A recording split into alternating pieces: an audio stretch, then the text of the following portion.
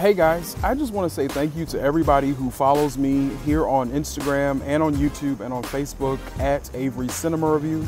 I really appreciate you all for commenting on my movie and TV show reviews, uh, for engaging in dialogue with me as I continue these conversations of great art and cinema, uh, because it's something that's a that's a close passion of mine. So I do appreciate every comment, every like, every view, every consideration.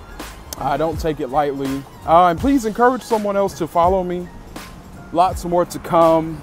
So many great things are ahead that I have in, have in store and have planned uh, for the next six months to probably the next three or four years. I'm just thinking down the road. So again, I appreciate you. Please follow me at Avery Cinema Review.